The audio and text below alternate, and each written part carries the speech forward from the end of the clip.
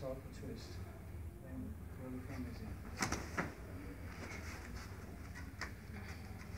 So it's not release this and then cut, because that means you're doing all the work with your shoulder here.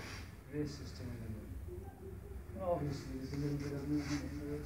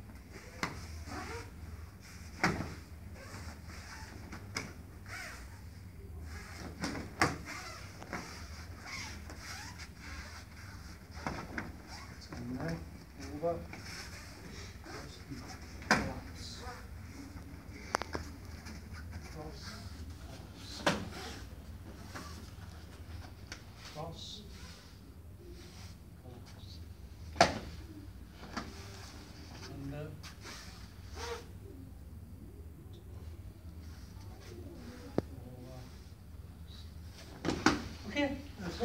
Let's go for it.